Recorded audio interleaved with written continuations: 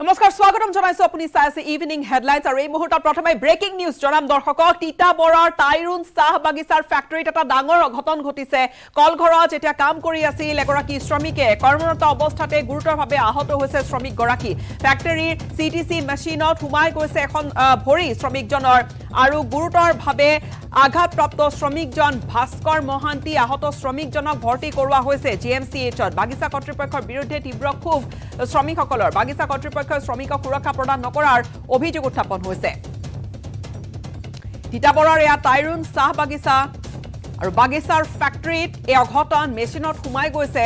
ফেক্টৰীৰ C T C মেচিনত সোমাল গৈ এগৰাকী শ্ৰমিকৰ ভৰি গুৰুতৰভাৱে আঘাতপ্ৰাপ্ত হৈছে শ্ৰমিকজন ভাস্কৰ মহান্তি বুলি জনা গৈছে। আহত শ্ৰমিকজনক বৰ্তমান ভৰ্তি কৰোৱা হৈছে জি এম চি এইচত আৰু বাগিচা কৰ্তৃপক্ষৰ বিৰুদ্ধে তীব্ৰ ক্ষোভ এতিয়া। তাত আন আন শ্ৰমিকসকলৰ বাগিচা কৰ্তৃপক্ষই শ্ৰমিকক সুৰক্ষা প্ৰদান নকৰাৰ গুৰুতৰ অভিযোগ উত্থাপন হৈছে। ভাস্কৰ মহান্তি গুৰুতৰভাৱে আঘাতপ্ৰাপ্ত হৈছে আৰু বৰ্তমান জি এম চি এইচত চিকিৎসাধীন। উল্লেখযোগ্য যে ইয়াৰ পূৰ্বতেও বহুবাৰ এনেকুৱা ঘটনা ঘটিছে। মইনা নায়কৰ ঘটনাৰ পৰা আৰম্ভ কৰি তাৰ পূৰ্বে বহুবোৰ এনেকুৱা ঘটনা ঘটিছে য'ত ফেক্টৰীত অঘটন ঘটে আৰু একো একোগৰাকী ব্যক্তিয়ে একো একোগৰাকী শ্ৰমিকে তেওঁলোকে গোটেই জীৱনলৈ ঘূণীয়া হ'বলগীয়া অৱস্থা হৈছে। কিন্তু কিহৰ বাবে এই ধৰণৰ সাৱধানতা অৱলম্বন কৰা এই দিশবোৰ কোনে চোৱা চিতা কৰিব লাগে আৰু ভালদৰে চোৱা চিতা কৰা হয় নে নহয়? এইবোৰ প্ৰসংগ স্বাভাৱিকতে উত্থাপন হয় বা স্বাভাৱিকতে ইয়াত প্ৰশ্ন এই ধৰণে উত্থাপন হয়। আমি মেনেজমেণ্টক এতিয়া আমাৰ গাৰ্ডেন ইউনিয়নে এখন ডিমাণ্ড দিছে। যি কাৰণতে এই ঘটনাটো নহওক লাগিলে কিন্তু ভৱিষ্যতটো আছে ল'ৰাটোৰ। আৰু তাৰ যিকোনো ধৰণৰ ক্ষতিপূৰণ আৰু তেওঁক উচ্চ চিকিৎসা কৰাই তেওঁক ভাল কৰিব লাগিব। আৰু তেওঁৰ পৰিয়াল যাতে পৰিচালনা কৰিব পৰা যিটো ব্যৱস্থা সেইটো মেনেজমেণ্টৰ বা কৰ্তৃপক্ষৰ ফালৰ পৰা দিব লাগিব। আৰু ন্যায়িক হিচাপে যিখিনি তদন্ত কৰিছে সেইটো বিচাৰ কৰি যিটো ন্যায় পাব লাগে সেইটো পাব লাগে। জানো কিবা কি কেনেকুৱা সোমালে এইটো গম নাপাওঁ খালি। খালি এইটো কথা শুনিলোঁ মেচিনত সোমালে বুলি এইটোহে গম পালোঁ। বহুতে দুখ পাইছে ইমানটোমান কটাই গৈছে একেবাৰে। ছেফটি এটাইহে দিয়ে অকল হেলমেটটোহে দিয়ে। নাই। অঁ এনেকুৱা কৰিম আৰু এই মুহূৰ্তত আমি এই ঘটনাৰ সবিশেষ জানিম। সংযুক্ত হৈছো ফোনযোগে আমাৰ তিতাবৰৰ সাংবাদিক অনমোল যাদৱৰ সৈতে। অনমোল কি হৈছিল আৰু বৰ্তমান লোকগৰাকীৰ অৱস্থা কেনেকুৱা? হয় এটা কথা উল্লেখ কৰিব লাগিব। ভাস্কৰ মহান্তি বুলি যোনজন শ্ৰমিক আছিল তেওঁ শ্ৰমিকজনে তেওঁ যিটো চি টি চি মেচিন আছে তেওঁ তাত দুৰ্ঘটনাগ্ৰস্ত হয় হৈ পিনি তেওঁ সোঁ ভৰিটো সম্পূৰ্ণৰূপে হেৰুৱায়। তাৰ ফলতে এটা কথা উল্লেখ কৰিব লাগিব। চাহ শ্ৰমিকৰ নিৰাপত্তা এতিয়াও সুনিশ্চিত হোৱা নাই। তেওঁলোকৰ কোনো ধৰণৰ নিৰাপত্তা নাই। বাৰম্বাৰ এনে দুৰ্ঘটনা হয় কিন্তু বিভিন্নজন আহে আহি পিনি তেওঁলোকক আশ্বাস প্ৰদান কৰে কিছুমান সাহায্য প্ৰদান কৰে। তাৰপিছত আকৌ সেই সেইটো নিমাত হৈ থাকে। কিন্তু সুৰক্ষা দিশটোত চাব গ'লে এটা হেলমেট মাত্ৰ তেওঁলোকক দিয়া হয় সুৰক্ষাৰ কাৰণে। আৰু কোনো ধৰণৰ সুৰক্ষা ব্যৱস্থা নাই গীতাশ্ৰী বাৰম্বাৰ ক'ব লাগিব। এই শ্ৰমিকজনে সম্পূৰ্ণৰূপে নিজৰ সোঁ ভৰিটো হেৰুৱাইছে। বৰ্তমান যোৰহাট স্থিত যি চিকিৎসা মহাবিদ্যালয় আছে যোৰহাট তাত তেওঁক ভৰ্তি কৰোৱা হৈছে। আৰু এতিয়া এই পৰ্যন্ত ইয়াত আহি উপস্থিত হৈছে চাহ জনজাতি ছাত্ৰ সন্থাৰ প্ৰতিনিধি দল এটা আহি উপস্থিত হৈছে। আৰু চাহ মজদুৰ সংঘৰ বিষয়ববীয়াসকল উপস্থিত হৈছে। এতিয়া ভৱিষ্যতে তেওঁলোকৰ কি হ'ব? কেনেধৰণে সেই পৰিয়ালটো পোহপালন কৰিব বা শ্ৰমিকৰ সুৰক্ষাটো দিশটো কেনেদৰে চাব? কাৰণ এই বাৰম্বাৰ এনে দুৰ্ঘটনা বিলাক অতিকৈ দুৰ্ভাগ্যজনক যে এইবোৰ ঘটনা ঘটিয়ে আছে এটাৰ পিছত এটাকৈ ঘটিয়ে আছে ফেক্টৰীত এই ধৰণে ঘূণীয়া হ'বলগীয়া হৈছে কাৰোবাৰ মৃত্যু পৰ্যন্ত ঘটিছে। এই মুহূৰ্তত আমি লগতে আন এটা বিষয় সুধিম যে কৰ্তৃপক্ষৰ কি ধৰণৰ ভাষ্য? বা যিহেতু শ্ৰমিকসকলে তেওঁলোকে খুব খং ক্ষোভ তেওঁলোকে প্ৰকাশ কৰিছে এই ঘটনাৰ পিছতে। হয় হয় গীতাশ্ৰী এটা কথা ক'ব লাগিব। এতিয়া আহি পিনি চাহ জনজাতি ছাত্ৰ সন্থাৰ প্ৰতিনিধি দলটো আহি পিনি এটা কথা আমাক অৱগত কৰিছে কৃতিপক্ষক তেওঁলোকে সুৰক্ষাৰ দিশটো তন্ন তন্নকে পৰীক্ষা কৰিছে আৰু গাফিলতি ইয়াত স্পষ্টভাৱে ওলাই পৰিছে। তেওঁলোকে শ্ৰমিকটো পৰিয়ালৰ সম্পূৰ্ণৰূপে ক্ষতিপূৰণৰ দাবী জনাইছে আৰু পৰিয়ালটো সম্পূৰ্ণ পোহপাল দিবৰ কাৰণে তেওঁলোকে দাবী জনাইছে। যিটো পৰিচালনা পৰিচালক আছে। তেওঁ আমাক জানিবলৈ দিয়া মতে শ্ৰমিকজনে পুৱাই যেতিয়া কৰ্মৰত অৱস্থা হৈছে এই দুৰ্ঘটনা সংঘটিত হয় বুলি আমাক জানিবলৈ দিছিলে। কিন্তু সুৰক্ষা দিশটো আমিও চাইছো। কোনো ইয়াত সুৰক্ষা ব্যৱস্থা নাই। গীতাশ্ৰী এটা কথা ক'ব লাগিব অকল হেলমেট প্ৰদান কৰিয়ে সুৰক্ষাটোৰ গাফিলতি তেওঁলোকে যিটো দায়িত্ব সামৰে চাহ পৰিচালনা সমিতি মালিক পক্ষক অকল হেলমেট এটা প্ৰদান কৰে শ্ৰমিকৰ সুৰক্ষা। এই হেলমেটটো সামান্য এটা হেলমেট। হেলমেটে তেওঁলোকে সুৰক্ষা প্ৰদান কৰে আৰু একো তাত সুৰক্ষা বেলেগ ব্যৱস্থা ইয়াত নাই। আৰু এই শ্ৰমিকজনে সম্পূৰ্ণৰূপে এতিয়া তেওঁৰ জীৱন অন্ধকাৰত হৈছে তেওঁ সুবৰিটো হেৰুৱাৰ পিছত তেওঁ ভৱিষ্যতটো কি হব? আৰু তেওঁৰ কেনেদৰে পৰিয়ালটো নিজৰ পোহপাল দিব এক প্ৰকাৰ গোটেই ক'বলৈ গ'লে বিষয়টো- পৰিয়ালটোলৈয়ে নামি আহিছে। অন্ধকাৰ কি ধৰণে এতিয়া ক্ষতিপূৰণৰ ব্যৱস্থা কৰিব বা কিখিনি চিকিৎসা প্ৰদানৰ ব্যৱস্থা কৰিব কৰ্তৃপক্ষই সেয়াও এটা লক্ষণীয় দিশ। এটা অনমোল আমি বিদায় লৈছো আপোনাৰ পৰা। ধন্যবাদ আমাক এইখিনি কথা আপুনি জনালে। কিন্তু পুনৰবাৰ আন এটা ঘটনা ঘটিছে। চাহ শ্ৰমিকৰ ক্ষেত্ৰত তেওঁলোকৰ জীৱনৰ প্ৰতি এই এই যেতিয়া কাম কৰে তেওঁলোকে ফেক্টৰী তেতিয়া কিমান সুৰক্ষিত হৈ থাকে? এই ধৰণৰ প্ৰসংগবোৰ আকৌ সাঙুৰ খাই পৰিছে। মইনা নায়কৰ ঘটনাটো নিশ্চয়কৈ দৰ্শকৰ মনত আছে। তাৰপিছত কিন্তু এই ঘটনাবোৰ বন্ধ হোৱা নাই। ঘটনা এটাৰ পিছত এটাকৈ কিন্তু ঘটিয়ে গৈছে। আজি যদি এখন বাগিচা কাইলৈ হয়তো কোনোবা আন এখন বাগিচাৰ খবৰ আমি দৰ্শকক কিন্তু দি যাবলগীয়া হৈছে অতি দুৰ্ভাগ্যজনকভাৱে।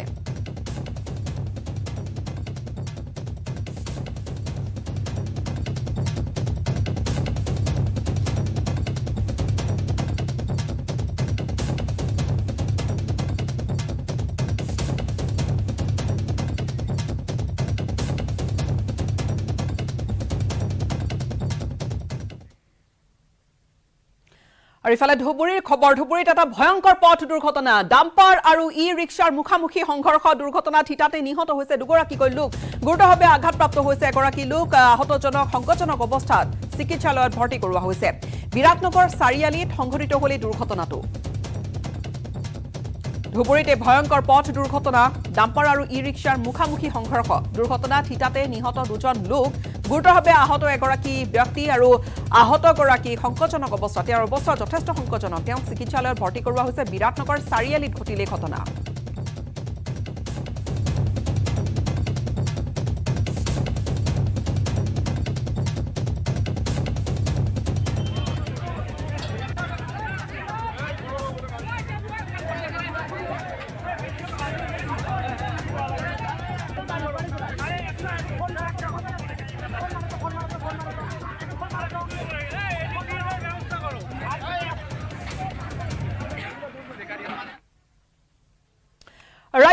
জাল জব্দ কৰা হৈছে আৰু এইবাৰ কৃষ্ণাইত কৃষ্ণাই জব্দ কৰা হৈছে বৃহৎ পৰিমাণৰ জাল নোট চৈধ্য লাখ পঞ্চাছ হাজাৰ জাল নোট জব্দ কৰা হৈছে। জাল নোট সহ আটক কৰিছে তিনি সৰবৰাহকাৰীকো।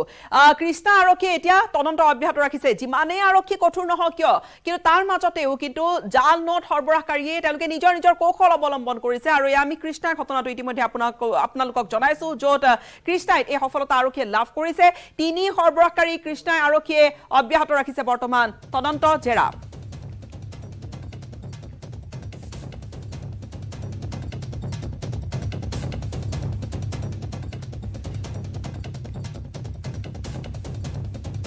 ৰাজ্যত পুনৰ জাল নোট জব্দ কৃষ্ণাইত।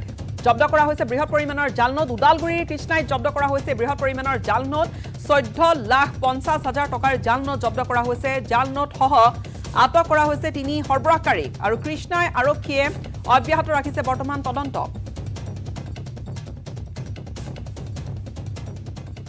পুনৰ জাল নোট জব্দ কৰিছে। কৃষ্ণাই জব্দ কৰা হৈছে বৃহৎ পৰিমাণৰ জাল নোটখিনি চৈধ্য লাখ পঞ্চাছ হাজাৰ।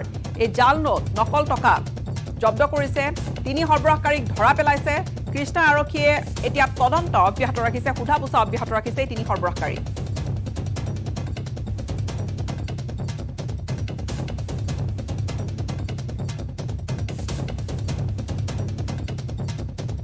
গাড়ী এখন আহি আছিলে এল্ট' এইট হাণ্ড্ৰেড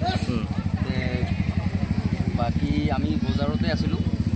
তে দুখন গাড়ী আগে পিছে আহি আছিল পটককৈ গাড়ীখন ৰাখি কেনে চেক কৰি কেনে তাতে ডুপ্লিকেট টকা দুখনমান টকা ওপৰত আছে আৰু বাকীবিলাক বান্ডিলত চব কাগজৰ বান্ডিল আহ, বান্ডিল কৰি একটা মোটামুটি কাৰ্টনৰ দৰে এটা কাৰ্টন আৰু এটা বস্তা ইমানখিনি টকা উদ্ধাৰ হৈছে আৰু তিনিজন মানুহ লগতে ধৰা পৰিছে।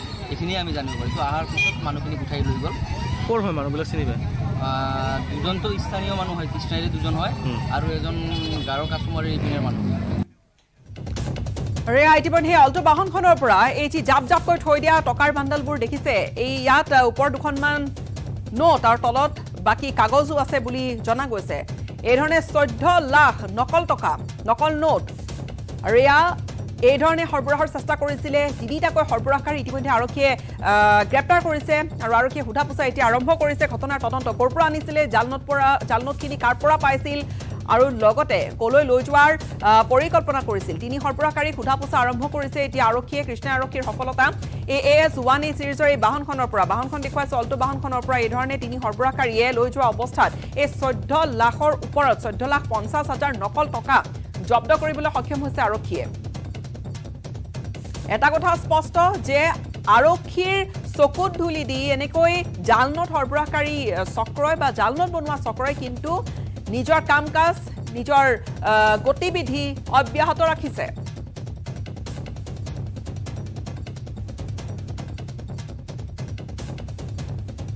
দুধনৰ এই ঘটনা দুধনৰ এই ঘটনাটোক লৈ ব্যাপক আচলতে প্ৰতিক্ৰিয়া দেখা গৈছে। ক'ৰ পৰা আনিছিল কেনেকৈ আনিছিল এই গোটেইখিনি কথা আমি শেহতীয়াকৈ জানিম। আমি সংযুক্ত হৈছো এই মুহূৰ্তত আমাৰ সাংবাদিক অৰূপ নাথৰ সৈতে। অৰূপ আৰক্ষীৰ সফলতা তিনি সৰবৰাহকাৰীকো আৰক্ষীয়ে ধৰিছে চৈধ্য লাখৰ ওপৰৰ নকল টকা জব্দ কৰিছে।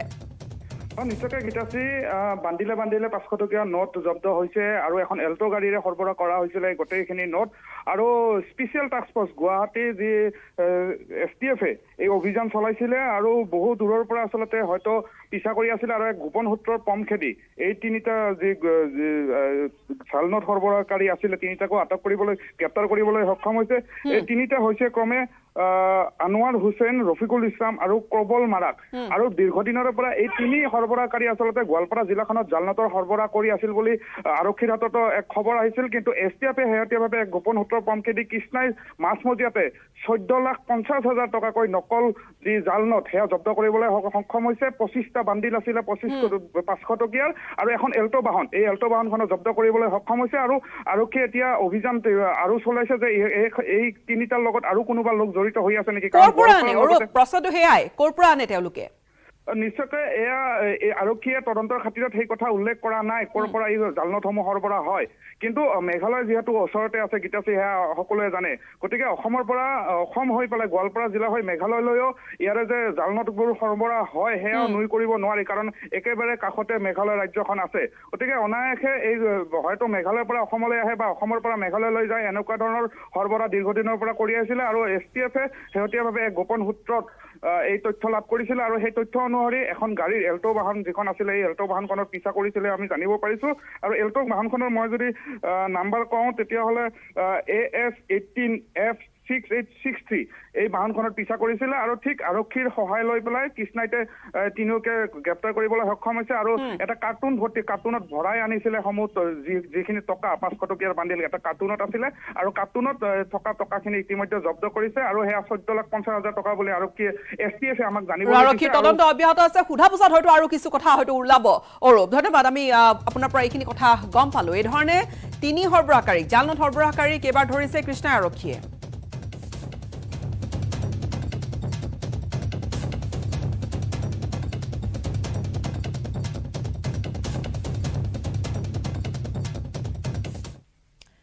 ইফালে আন এটা খবৰ হৈছে গোলাঘাটত বীজ কেলেংকাৰী তদন্ত ঘোষণা কৰা হৈছে। কৃষি মন্ত্ৰী অতুল বৰাই ঘোষণা কৰিছে তদন্ত উচ্চ পৰ্যায়ৰ বিভাগীয় বিষয়াৰ দ্বাৰা তদন্তৰ নিৰ্দেশনা দিয়া হৈছে। একত্ৰিশ আগষ্টৰ ভিতৰত দাখিল কৰিব লাগিব তদন্তৰ প্ৰতিবেদন। মাটিমাহৰ বীজ বিতৰণত উঠিছিল খেলি মেলিৰ এটা ডাঙৰ অভিযোগ। একত্ৰিশ আগষ্টৰ ভিতৰত প্ৰতিবেদন দাখিল হ'ব লাগিব। কৃষি মন্ত্ৰী কঠোৰ হৈছে। গোলাঘাটত বীজ কেলেংকাৰীৰ তদন্ত ঘোষণা কৰিছে কৃষি মন্ত্ৰী অতুল বৰাই। অতুল বৰাই ঘোষণা কৰিছে তদন্ত উচ্চ পৰ্যায়ৰ বিভাগীয় বিষয়াৰ দ্বাৰা। এই তদন্তৰ নিৰ্দেশ দিয়া হৈছে। তদন্ত হ'ব আৰু একত্ৰিশ আগষ্টৰ ভিতৰত দাখিল কৰিব লাগিব তদন্তৰ প্ৰতিবেদন।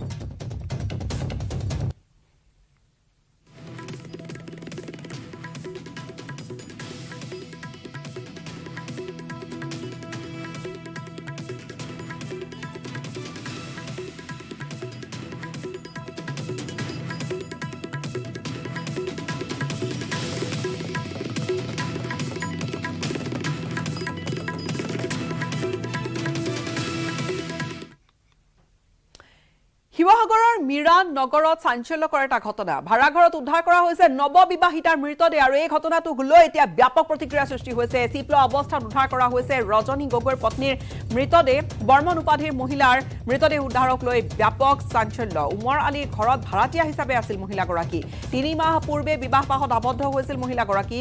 বিগত ডেৰ বছৰ ধৰি উমৰৰ ঘৰতে ভাড়া ভাড়াতীয়া হিচাপে আছিল ভাড়ালৈ আছিল ৰজনীৰ পৰিয়ালটো। কৰ্মসূত্ৰে কেৰেলাত আছিল মহিলাগৰাকীৰ স্বামী ৰজনী গগৈ জয়সাগৰ আৰক্ষীয়ে উদ্ধাৰ কৰিছে মহিলাগৰাকীৰ মৃতদেহ আৰু আৰক্ষীয়ে জব্দ কৰিছে মহিলাগৰাকীৰ mobile phone.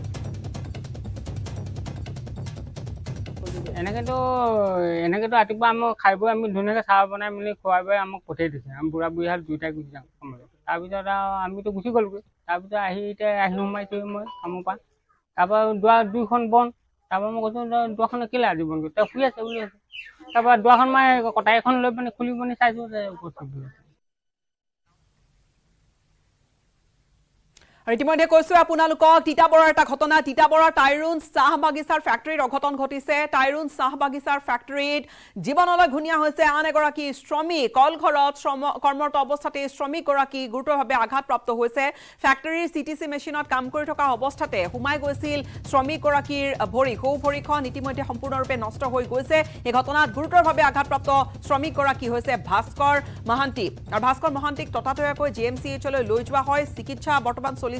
Jorhat medical college হাস্পতালতে বাগিচা কৰ্তৃপক্ষৰ বিৰুদ্ধে আনহাতে ক্ষোভ উজাৰিছে শ্ৰমিকসকলে। শ্ৰমিকসকলৰ অভিযোগো আছে যে মাত্ৰ এটা হেলমেটহে দিয়া হয় কাম কৰাৰ সময়ছোৱাত। তাৰ বাহিৰে কোনো ধৰণৰ বেলেগ পোছাক বা বেলেগ ধৰণৰ সাৱধানতা ল'বলৈ তেনেকুৱা ধৰণৰ সা সঁজুলিবোৰ দিয়া নহয় বা তেনেকুৱা ধৰণৰ পোছাকবোৰ দিয়া নহয়। কেৱল হেলমেটটো দিয়ে যেন দায়িত্ব সামৰে। এই অভিযোগো উত্থাপন হৈছে এফালে আৰু আনহাতে শ্ৰমিকৰ ক্ষোভ কৰ্তৃপক্ষৰ বিৰুদ্ধে বাগিচা কৰ্তৃপক্ষই শ্ৰমিকক সুৰক্ষা প্ৰদান নকৰাৰ অভিযোগেও তোলপাৰ লগাইছে।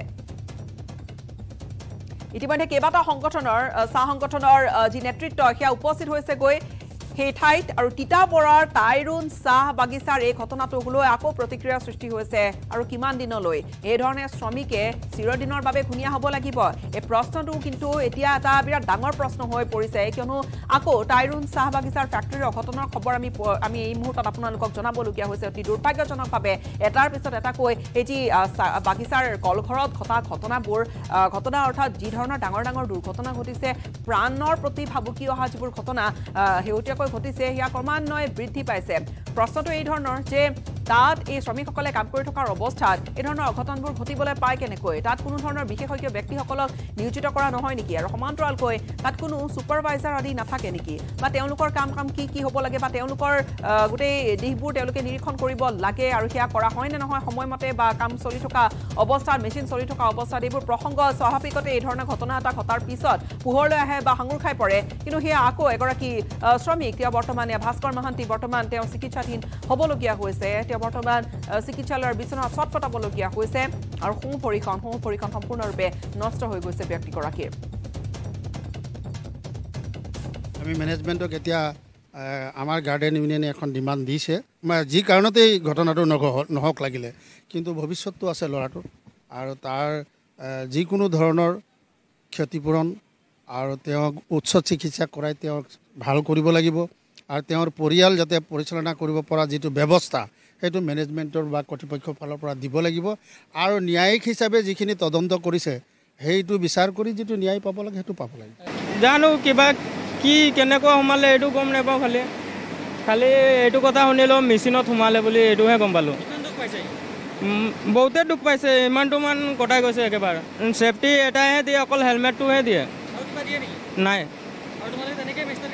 অঁ এনেকুৱা কৰি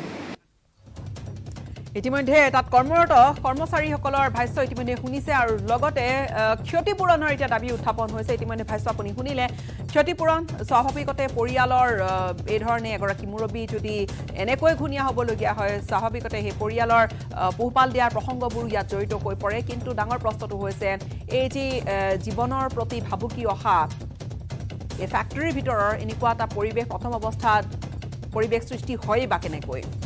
তিতাবৰৰ এয়া টাইৰুণ চাহ বাগিচা য'ত ফেক্টৰীত অঘটন ঘটিছে ফেক্টৰীত এগৰাকী শ্ৰমিকে তেওঁ যথেষ্ট গুৰুতৰভাৱে আঘাতপ্ৰাপ্ত হৈছে। তেওঁৰ ভৰি সোমাই গৈছে মেচিনত চি টি চি মেচিনত কলঘৰত তেওঁৰ ভৰি সোমাই যায় আৰু তাৰ পিছতে এটা হাহাকাৰ অৱস্থা ততাতৈয়াকৈ তেওঁক লৈ লৈ যোৱা হৈছে জে এম চি এইচলৈ তাত ভৰ্তি কৰোৱা হৈছে।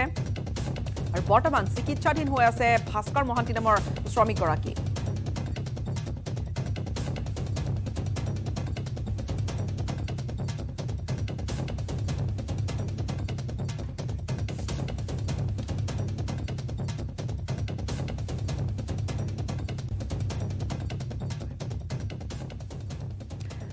আৰু এই গোটেই ঘটনাটোৱে পুনৰবাৰ সেই প্ৰশ্নবোৰ উত্থাপন কৰিছে আৰু এই মুহূৰ্তত আমি তিতাবৰলৈ লৈ যাম। দৰ্শকক আমি সংযুক্ত হৈছো। আমাৰ সাংবাদিক অনমোল যাদৱৰ সৈতে। অনমোল কি হৈছিল?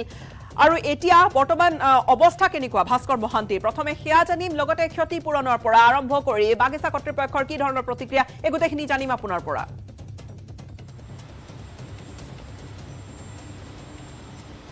আপোনাক দেখুৱালাম প্ৰথমতে যিটো চি টি চি মেচিন আছে তেওঁৰ ভূ ভৰিটো সোমাই পিনি কেনেদৰে আঘাতপ্ৰাপ্ত হৈছিল আমাৰ দৰ্শকসকলে পোনে পোনে মই দেখুৱালাম এই মেচিনসমূহক কেনেদৰে শ্ৰমিকসকলে কাম কৰি থাকে আৰু কি তেওঁ সুৰক্ষা দিশটো চাওক।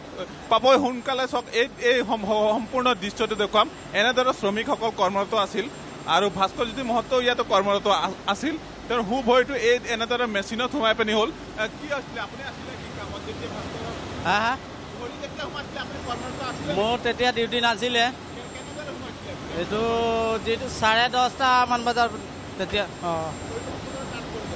এইটো ইয়াত এই মেচিনটোত সোমাইছিলে। এইটো। আমি দেখুৱাম যোনটো ভাস্কৰ ভৰিটো সোমাইছিলে কোনটো মেচিনত সোমাইছিলে আপুনি অকণ দেখুৱাই দিবচোন। ইয়াত পোনে পোনে আমাৰ দৰ্শকসকলক দেখুৱাওঁ এইটো চি টি চি মেচিনটো ইয়াতে তেওঁৰ ভৰিটো সোমাইছিলে বুলি কৈছে। সুৰক্ষাৰ দিশটো আমি দেখুৱাম। এইসকল শ্ৰমিক যোনসকল কাম কৰি আছে পাপৈ চাওক সোনকালে এইসকলৰ কোনো সুৰক্ষা নাই কোনো গাৰ্ড নাই কোনো হেলমেট নাই। এনেদৰে তেওঁলোকে এই চি টি চি মেচিনত কাম কৰি থাকে।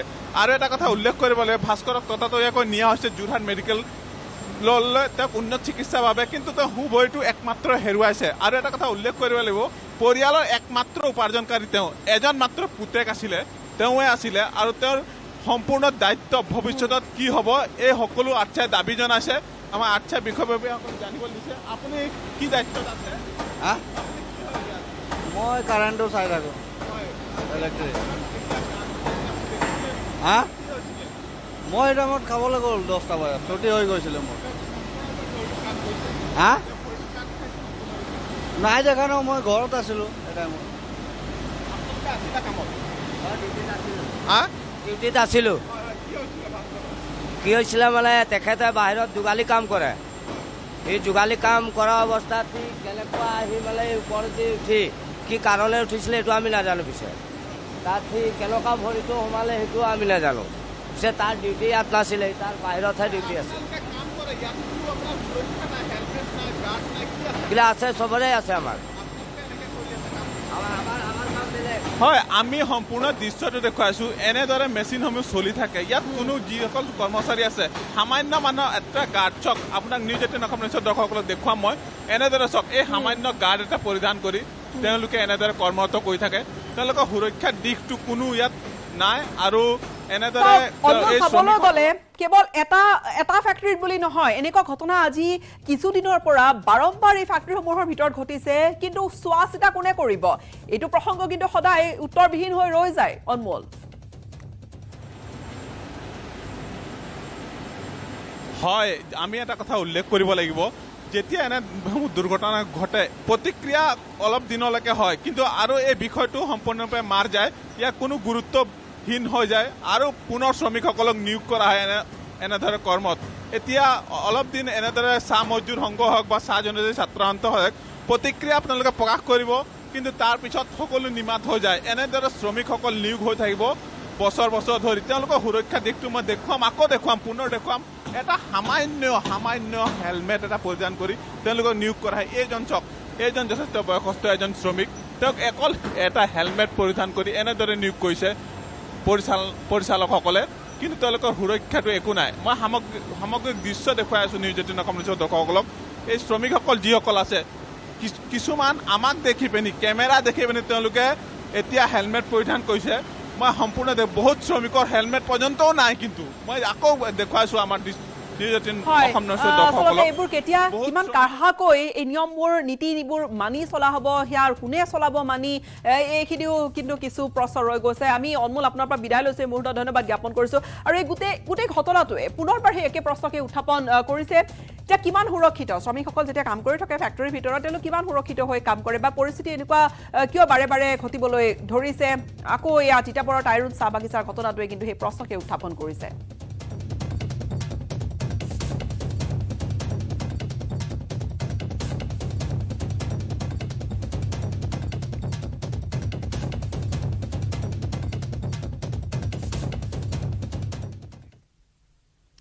আৰু খবৰ ধাৰা আমি অব্যাহত ৰাখিম। সময়খিনিতে এটা চমু বাণিজ্যিক বিৰতিৰ।